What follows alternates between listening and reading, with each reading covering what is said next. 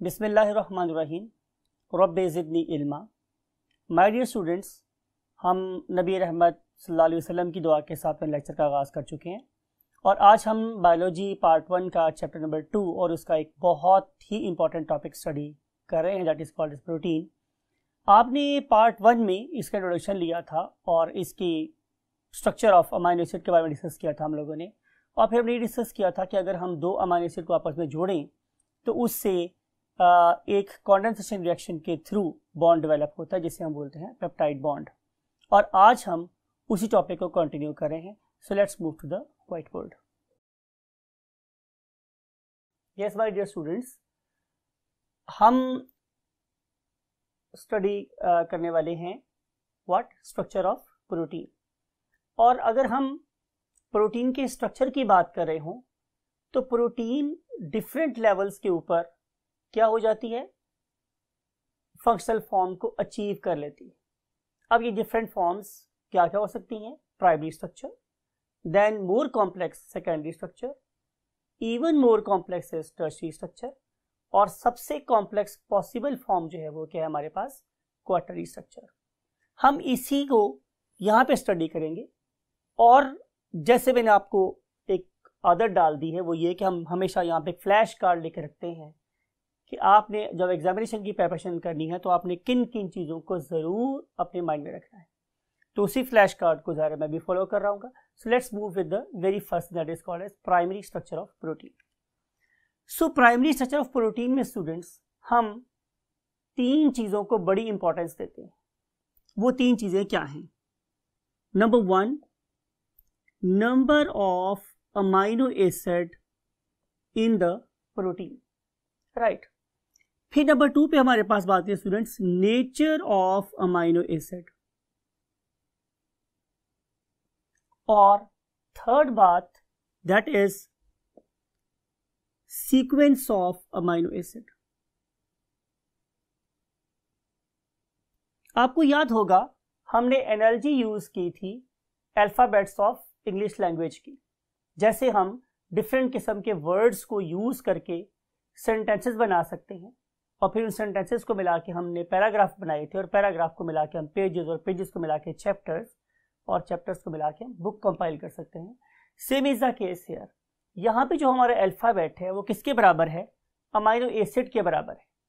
Right last lecture याद करें, हमने बोला था कि ह्यूमन बींग में total twenty different types of amino acids इस्तेमाल होते हैं।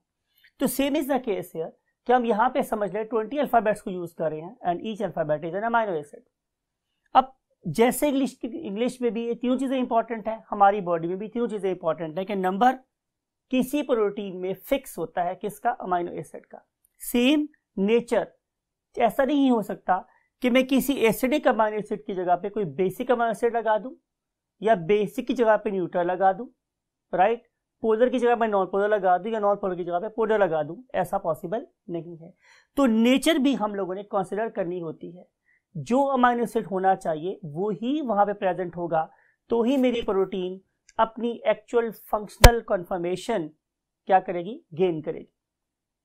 फिर उसके बाद सीक्वेंस ऑफ़ अमाइनो एसिड हम सीक्वेंस ऑफ़ अमाइनो एसिड को अंडरस्टैंड करने के लिए फॉर एग्जांपल तीन वर्ड लिख रहा हूँ जो कि एनालॉगस हैं, किसके?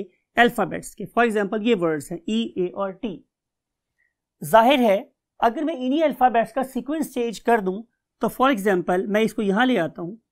तो बन जाएगा for example T E A या बन जाता है ए टी ई अब मेरे पास अमाइनो एसिड्स या अल्फाबेट्स क्या है स्टूडेंट सेम लेकिन जब उनका मैंने सीक्वेंस चेंज किया है तो ज़ाहिर है अब वो सेम मीनिंग नहीं दे रहे।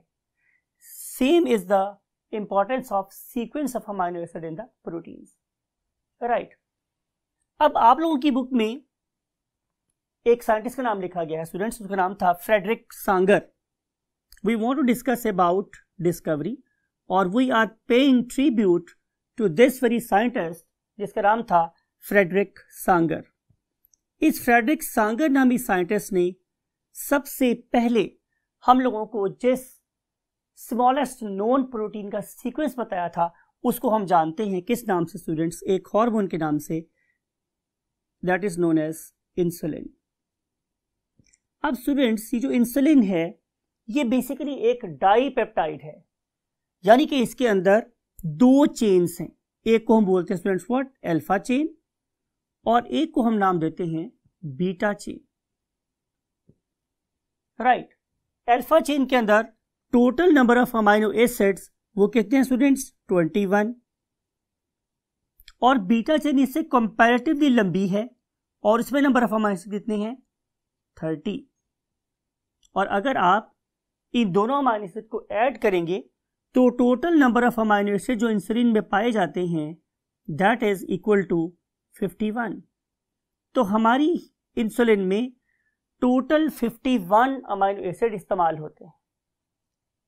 प्राइमरी स्ट्रक्चर में मैं फिर बोल रहा हूँ कि नंबर ऑफ़ अमाइनो एसिड बहुत इंपॉर्टेंट है। It should be 51 if it has to work in normal way एक और एग्ज़ाम्पल जो आपकी बुक में गिवन है स्टूडेंट्स वो कौन सी है? हीमोग्लोबिन और इस पर्टिकुलर हीमोग्लोबिन में कितनी अमाइनो एसिड है स्टूडेंट्स चार सॉरी चार चेन्स है। अमाइनो एसिड नहीं चेन्स है। कितनी? चार। उनमें से स्टूडेंट्स दो अल्फ़ा चेन्स हैं और दो बीटा चेन्स पहली दो अमाइनो पहली दो चेन्स में जो नंबर ऑफ़ अमाइनो एसिड है, वो कितनी है?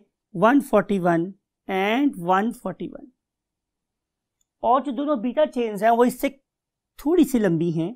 और इसमें नंबर ऑफ़ अमाइनो एसिड कितने हैं स्टूडेंट्स 146 एंड 146 जब आप इन सारे के सारे नंबर ऑफ़ अमाइनो एसिड्स को ऐड करते हो तो आपको पता चलता है कि इसके अंदर total number of amino acid are 574 right अब अगली बात पे चलते हैं, अगले कॉलम में मूव करेंगे कि not only in particular amino acid का नंबर इंपॉर्टेंट है, बल्कि उनकी नेचर भी इंपॉर्टेंट है। अब किस लम्हे पे कौन सा अमाइनो एसिड आए, इसके लिए हमें एक डायग्राम का सहारा लेना पड़ेगा। लुक एट दिस स्टूडेंट्स कि ये आप लोगों के पास एक सेल है। Right right? और ये हमारे पास क्या है स्टूडेंट्स एक न्यूक्लियस और इस न्यूक्लियस के अंदर यू नो वेरी वेल हमारे पास प्रेजेंट होता है DNA so DNA is basically acting as a template एक नमूना।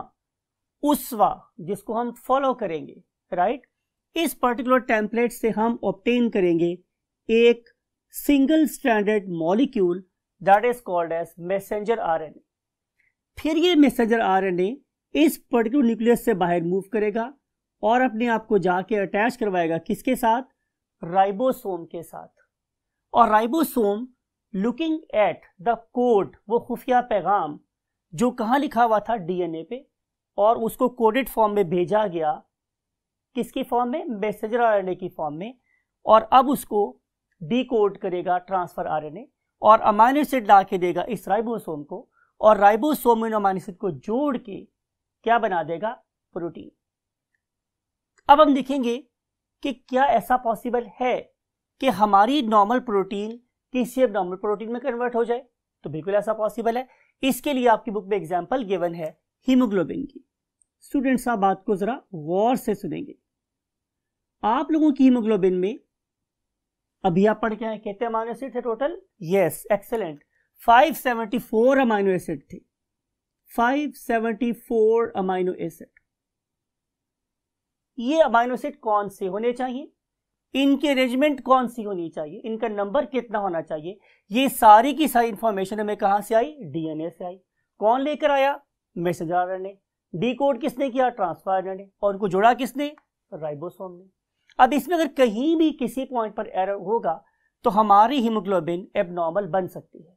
फॉर एग्ज़ाम्पल आप में लिखा हुआ है कि out of 574 if there is an abnormality of only one amino acid यानी कि पाँच में से सिर्फ़ एक अमाइनो एसिड खराब होना है। देखते हैं स्टूडेंट्स कहाँ होगा। यू नो वेरी वेल कि हमारी हीमोग्लोबिन में कितनी चेंज थी? चार, दो अल्फ़ा और दो बीटा राइट right. अब आपने बात को फिर वही बात है गौर से सुनना है कि इस पहली बीटा चेन का जो अमाइनो एसिड नंबर सिक्स है amino acid number six one two three four five और सिक्स मैं इसकी बात कर छठा अमाइनो एसिड ये होना चाहिए glutamine glutamine is what it is a normal amino acid लेकिन म्यूटेशन की वजह से, अगर यहाँ पे एबनॉर्मल अमाइनो एसिड कॉल हो जाए, जैसे हम बोलते हैं व्हाट वेलिन राइट ये क्या है मेरे पास एक? एबनॉर्मल अमाइनो एसिड अब इस एबनॉर्मल अमाइनो एसिड की वजह से जो प्रोटीन है, वो अपना normal three D conformation obtain नहीं कर पाती। और वो एक ग्लोबुलर मॉलिक्यूल की बजाय एक द्रांति की तरह से मॉलिक्यूल बन जाता है, जिसे हम बोलते हैं कि सिकल्ड हीमोग्लोबिन बन गई है। नॉर्मल प्रोटीन नहीं रहेगी, बल्कि वो इस तरह की सिकल्ड प्रोटीन बन जाएगी।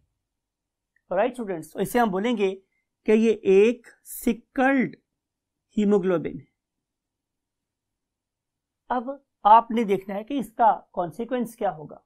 तो आंसर ये है कि इस नॉर्मल हीमोग्लोबिन की नस्बत इसकी ऑक्सीजन कैरिंग कैपेसिटी बहुत ज़्यादा रिड्यूस हो जाती ये वाला ऑर्गेनिज्म हँसते हँसते, रोते रोते नीला हो सकता है। प्लस इसकी जो लाइफ एक्सपेक्टेंसी है, वो भी काफ़ी रिड्यूस हो जाएगी।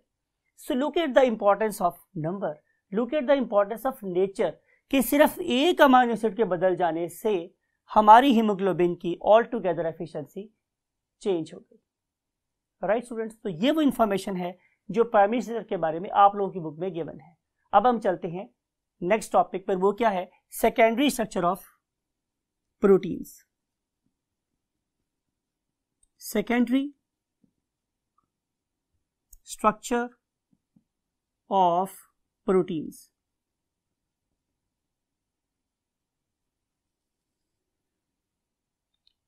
I need zero tension my dear students जब हम प्रोटीन बनाने के लिए किसको आपस में जोड़ेंगे? डिफरेंट किस्म के अमाइनो एसिड्स को। तो पहले इनिशियल लेवल पे जो स्ट्रक्चर बनेगा, उसको मैं आप लोगों की नज़र एक लफ्ज से कर रहा हूँ। वो लफ्ज है स्टूडेंट्स है कोप्लेनर वो एक ही प्लेन के अंदर अरेंज हो जाते हैं। लेकिन आपको याद है कि अमाइनो एसिड में जो एक बहुत इंपॉर्टेंट चीज़ थी दैट वाज अ वेरिएबल उसका नाम क्या था? आर ये आर सबके कांस्टेंट नहीं है।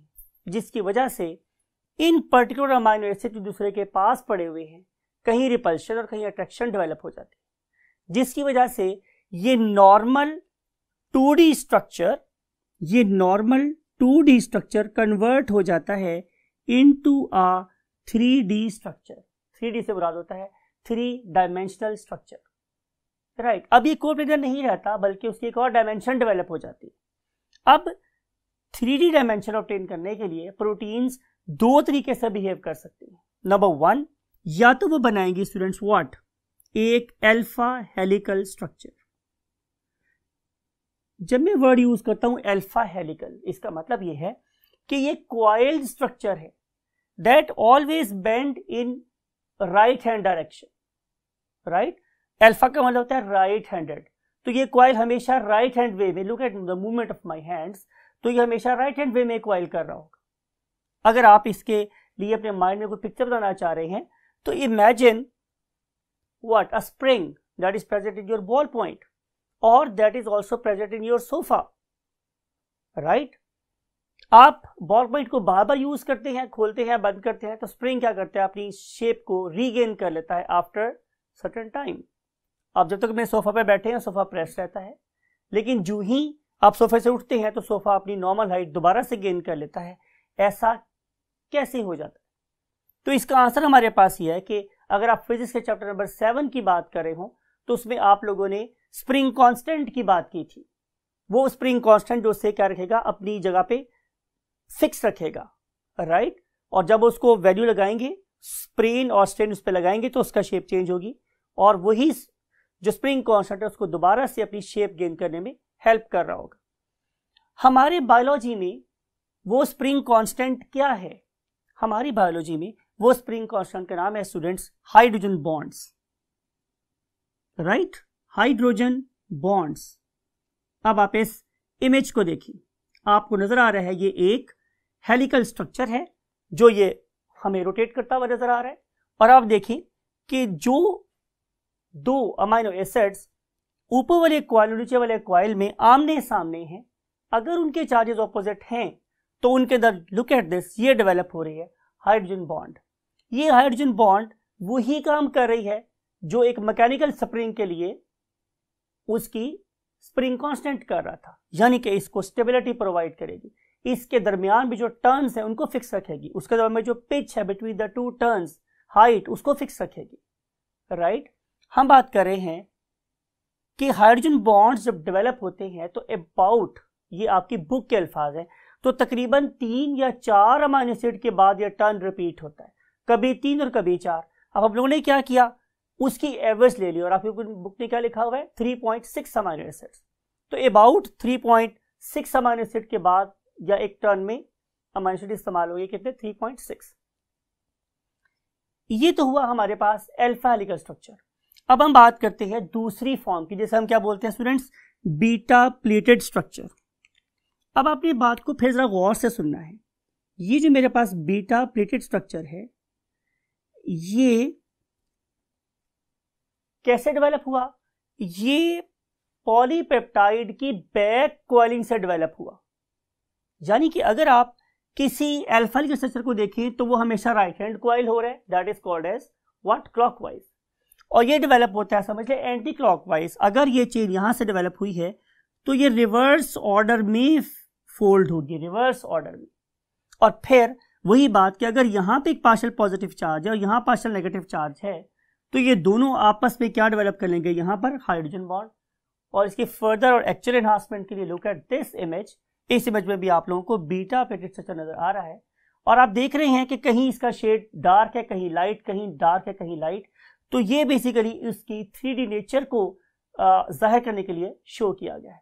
तो यहाँ पर भी वो एक टू स्ट्रक्चर थ्री स्ट्रक्चर में कन्वर्ट हो गया। राइट स्टूडेंट्स तो यहाँ पे जो आपके लिए बात इंपॉर्टेंट है, वो क्या है? नंबर ऑफ़ अमाइनो एसिड्स पर टर्न तो वो कितने स्टूडेंट्स 3.6 अमाइनो एसिड्स देन एक और बात जिसके लिए मैं अगेन री इन्फोर्समेंट पर बिलीव रखता हूँ, मैं आपके लिए री कर रहा हूँ वो ये कि आपने इस बॉक्स को नहीं भूलना कि वो कौन सी फोर्स है जो स्प्रिंग कांस्टेंट डेवलप कर रही है, जो इस शीट को थ्री स्ट्रक्चर दे रही है, वो है hydrogen bonds it is very important मैंने ब्लॉक भी कर दिया है, मैं इसके ऊपर आप लोगों के लिए स्टार भी लगा रहा हूँ कि एक बहुत इंपॉर्टेंट बात है. Now we want to move to the next conformational structure that is called as tertiary structure. Tertiary structure. This structure is even more complex than secondary structure. Right. Tertiary structure कैसे बनेगा? इसके लिए आप imagine ये करें students कि आप लोगों के पास एक गोल रबड़ बैंड है। आप इसको दरम्यान में से कट कर लिया। समथिंग लाइक इट ये एक रबर बैंड था आप लोगों के पास। आपने इसको दरमियान से कट किया। और दरमियान से कट करने के बाद ये आप लोगों के पास एक लंबी सी रबड़ बन गई। समझ लें कि ये एक 2D to dimensional polypeptide chain बन गई है। But as I said it is कोप्लेडर अब क्या होगा कि या तो वो ट्विस्ट होगी और अल्फ़ा का स्ट्रक्चर बनाएगी, और या फिर वो बीटा प्लेटेड स्ट्रक्चर बना देगी। से हम लोगों ने इसको यू ड्रॉ कर दिया। राइट? अब ये जो स्ट्रक्चर मेरे पास डेवलप हुआ, ये क्या था? सेकेंडरी स्ट्रक्चर इंपॉर्टेंट ये है सेकेंडरी स्ट्रक्चर अब ये सेकेंडरी स्ट्रक्चर जब क्वाइल होता है तो ये और अनस्टेबल हो जाता है. यू नो हालाँकि, हमने प्राइमरी को सेकेंडरी में को कन्वर्ट किया था? टू गेन सम स्टेबिलिटी लेकिन कुछ प्रोटीन्स में ये it leads to further unstability और उसके रिज़ल्ट में जब ये लूज होता है तो ये अपने ही ऊपर क्वाइल हो जाता है. यानी कि मैं आप लोगों के लिए एक वर्ड यूज़ कर रहा हूँ यहाँ पे। वो क्या है? सेल्फ क्वाइलिंग जब ये अपने ही ऊपर दोबारा से क्वाइल हो जाएगी, इसके लिए मैं अभी एक डेमो देता हूँ आप लोगों के लिए। तो ये जो सेल्फ क्वाइल स्ट्रक्चर बनेगा मेरे पास that is called as tertiary structure अब इस टर्शी स्ट्रक्चर की स्टेबिलिटी कौन इंश्योर कर रहा है स्टूडेंट्स तो उसके लिए भी आप लोगों ने इस बॉक्स को कभी भी माइंड से नहीं निकालना। ये आप लोगों को वो एक नंबर दे सकता है जो शायद आप लोगों को मेडिकल कॉलेज में ले जाए। राइट तो कीप एवरीथिंग योर माइंड तो उसके लिए मैंने एक टिप दी हुई आप लोगों के लिए, वो है students H I D S heads और heights whatever you want to say यानी कि तीन किस्म की फोर्सेस हैं जो इस स्ट्रक्चर को चेंज होने से रोकेंगी। उनमें से पहली एच एच का मतलब स्टूडेंट्स क्या है? मेरे पास हाइड्रोजन बॉन्ड्स यहाँ पे हाइड्रोजन बॉन्ड्स भी present I stand for ionic bonds यहाँ पे आयोनिक बॉन्ड्स भी प्रेजेंट है। और फिर उसके बाद, जो सबसे इंपॉर्टेंट स्ट्रक्चर कि अब मैं उस पर्टिकुलर एलिमेंट की बात कर रहा हूँ, जो हमें कार्बन हाइड्रोजन ऑक्सीजन नाइट्रोजन के अलावा भी ऐड करना पड़ता है, किसमें? प्रोटीन में। That is element sulphur right तो उस पर्टिकुलर सल्फ़र का यूज़ प्रोटीन में कहा होता है? तो answer is in development of the DS अब what is DS disulphide bridges तो जहाँ जहाँ भी डाई सल्फाइड ब्रिजेस इस्तेमाल होते हैं, वहाँ पे हम सल्फ़र को यूज़ कर रहे होते हैं to develop a bond between और इनसाइड द चेन इसको मैं यू भी कह सकता हूँ कि it is development of the disulphide bridges in the same chain mean intra chain intra polypeptide disulphide bridging यहाँ डेवलप हो रही है। मैं फिर एक वर्ड अगली नज़र कर रहा हूँ। इंट्रा पॉलीपेप्टाइड डाइसल्फाइड ब्रिजिंग हो जाती है। Now we want to move to the final structure that is called as quaternary structure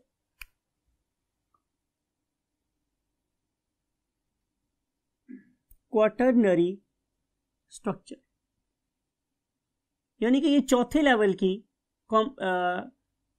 कॉन्फर्मेशनल stability है। प्राइमरी पहले लेवल की है सेकेंडरी दूसरे लेवल की है टर्शी तीसरे लेवल की है और ये सबसे complex level of what conformation है। इस वाले केस में स्टूडेंट्स आपने जरा बात को गौर से समझना है। इस वाले केस में अब हम उन पॉलीपेप्टाइड्स को यूज़ करने वाले हैं जो टर्शरी स्टेबिलिटी ऑप्टेन कर चुके हैं राइट फॉर एग्ज़ाम्पल आप लोगों की बुक में यूज़ किया गया है हीमोग्लोबिन को। तो हीमोग्लोबिन में आप लोगों ने देखा कि it consist of four polypeptides ये चार पॉलीपेप्टाइड्स के मिलने से बनी। अब ये वाली चार पॉलीपेप्टाइड्स जब प्राइमरी लेवल से बुलंद होकर सेकेंड लेवल पे आई और फिर टर्शी लेवल तक अपने आप को स्टेबलाइज कर चुकी तो अब ये वाली चार प्रोटीन्स, चार polypeptide something like it, one end say two end then say three end last one is four तो अब ये आपस में क्या करेंगी? इंटरेक्शन करेंगी। Right right? इंटरेक्शन के बाद जो स्ट्रक्चर हमारे पास बनेगा, वो कहलाएगा tertiary structure right something like it कि आपस में डिफरेंट तरीके से कंबाइन हो रही हैं। लेकिन जो मोस्ट इंपॉर्टेंट थिंग आप लोग देखेंगे वो ये है कि यहाँ पे एक आयरन का एटम मौजूद है। ये बेसी बेसिकली आयरन का जो एटम है, ये इन चारों को आपस में जोड़ने में इस्तेमाल हो रहा है। तो इस तरीके से जो स्ट्रक्चर मेरे पास बनेगा, ये कहलाएगा quaternary structure of what haemoglobin quaternary structure के बारे में आप लोगों की बुक में इतना ही लिखा हुआ है। और अब हम चलते हैं टाइप्स ऑफ़ प्रोटीन्स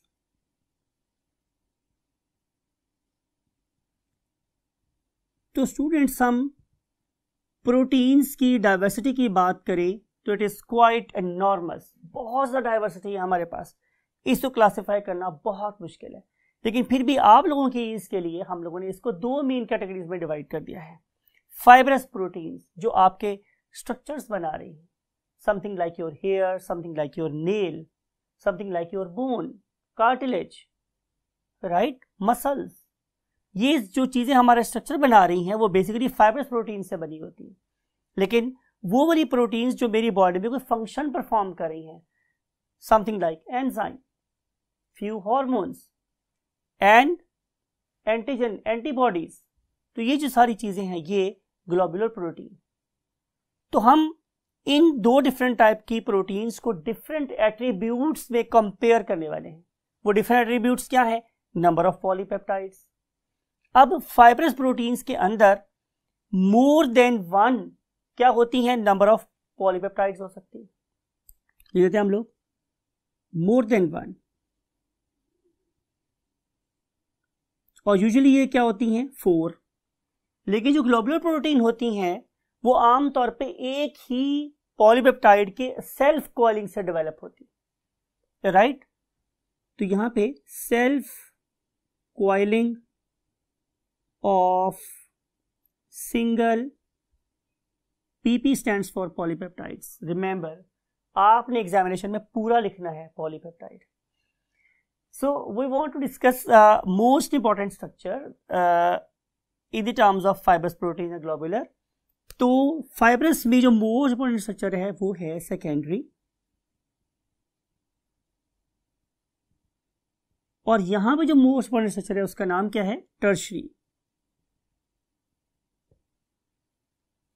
सॉल्युबिलिटी ये जो हमारी फाइबरस प्रोटीन्स हैं दे आर इनसॉल्युबल ये तो हैं इनसॉल्युबल इनके लिए तो आपने मजीद कोई बात माइंड में नहीं रखनी लेकिन जो मेरी ग्लोबुलर प्रोटीन्स हैं, वो सॉल्युबल होती हैं, वो बिल्कुल हल हो सकती हैं। और अगर मैं इनकी सॉल्युबिलिटी की बात करूँ तो वो सॉल्युबल किस किस चीज़ में होंगी? तो आंसर है कि ये किसी एसिड में, किसी बेस में, और या फिर किसी सॉल्ट में। जब हम प्रोटीन की प्योरिफिकेशन कर रहे होते हैं तो हम डिफरेंट किस्म की चीज़ों में इन प्रोटीन्स को डिजोल्व कर एक दूसरे से सेपरेट कर सकते हैं। राइट स्टूडेंट्स अब हम पढ़ते हैं क्रिस्टलाइजेशन तो जो फाइबरस प्रोटीन्स हैं they can not be crystallise can not be crystallise लेकिन जो ग्लोबल प्रोटीन्स हैं they can be crystallise right और अगर आप इसकी स्टेबिलिटी की बात करें तो हमारी फाइबर्स प्रोटीन्स बहुत ड्रास्टिक चेंज इन पीएच पर भी स्टेबल रहती हैं। लेकिन जो हमारी ग्लोबुलर प्रोटीन्स होती हैं, वो पीएच में चेंज होने पर अपनी स्टेबिलिटी को लूज कर देती हैं। So they are pH stable और दीज आर पीएच सेंसिटिव और आखिरी बात जो आपसे करने वाले हैं, वो क्या है? इससे एग्जाम्पल्स तो एग्जाम्पल्स में आप लोगों के हेयर्स जो आप लोगों को स्टाइल देते हैं। नेल्स जिस पे आप लोग नेल पॉलिश लगा लेती हैं। Then matrix of bone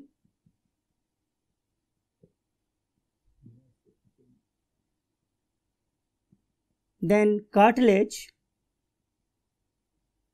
ये सारी की सारी चीज़ें फाइबरस प्रोटीन्स की बनी हुई है। इवन अगर आप कभी जख्मी होते हैं तो आपके जख्म के ऊपर जो नेटवर्क ऑफ़ फाइबर ब्लीडिंग रोकता है it is also made up of fibrous protein can you name it fibrin you are right globular protein में हमारे पास फ्लूड्स क्या शामिल हैं? Hormones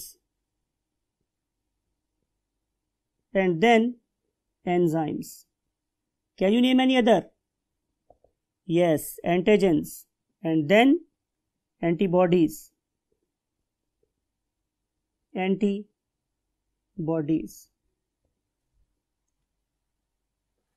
That's it for today. See you next time on the